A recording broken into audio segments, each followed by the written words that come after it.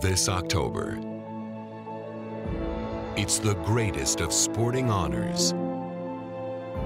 It's the most respected of athletic achievements.